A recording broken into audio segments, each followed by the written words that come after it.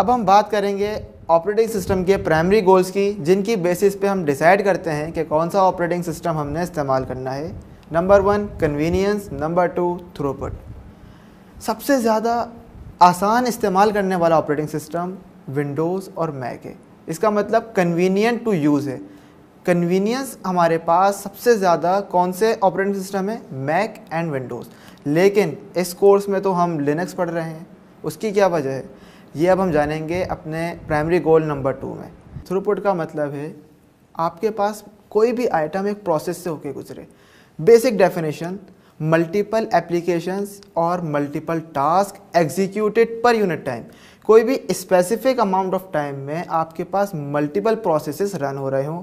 मिसाल के तौर पर आपके पास एक ब्राउज़र ओपन है और उसमें मल्टीपल टैब्स ओपन है तो हर टैब के अगेंस्ट में एक प्रोसेस रन हो रहा होता है।